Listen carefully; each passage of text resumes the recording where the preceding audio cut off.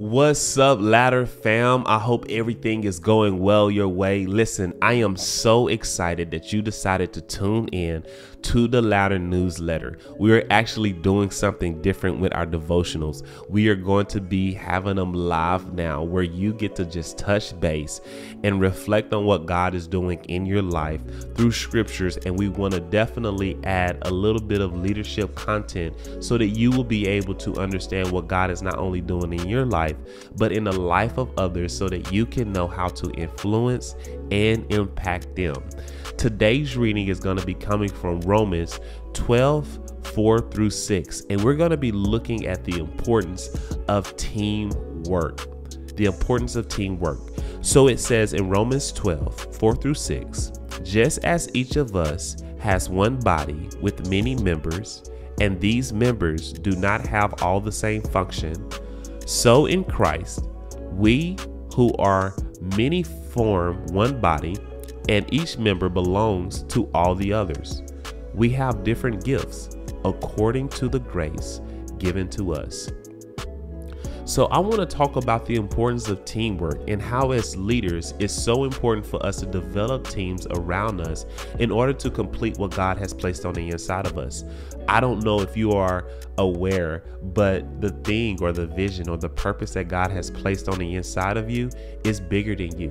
And it's going to need, and you are going to need other people to help you get from point one to point two or point A to point B so that you can um, not only be able to delegate and operate in your strengths, but empower the people around you so that they may benefit from connecting with you.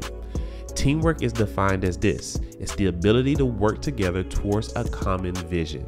The reason why this is so important is because there is something uncommon that you need to accomplish because it direct individual accomplishments towards corporate objectives and teamwork allows you to fuel people and uh, fuel people and actually get uncommon results. I think this is so important for us to realize, especially when we are trying to get to the next level, because everybody needed a team. Jesus had a team of the 12 disciples. Moses, even though he was referred to as the friend of God, the song I Am a Friend of God, Moses was referred to the friend of God, but he needed a team in order for him to move the Israelites from Egypt and from out of the hands of Pharaoh. And if we are, are and if we are going to be great leaders, we are going to have to understand how to get a team to move towards a common goal. I think this is so important and vital for us to understand is because sometimes we are discouraged from what we do not know. And sometimes we allow that discouragement to not really uh, to push it on other people. But I think that as you move forth towards the direction of what God has for you, you'll begin to realize is that nobody has it all together and nobody has the answer. We just have to be comfortable enough to admit that I don't have all the answers and I'm partnering up with you so that we can be able to come up with solutions together in order to get to that next position in life.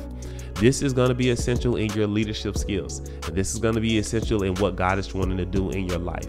Because if God created man and then looked at him and said, Man, it's not good to be alone, then in order for you to get to the place that God has called you to be, I ask you to pray for God to send the right people that will develop a great team around you that will give you an environment that you can productively grow in.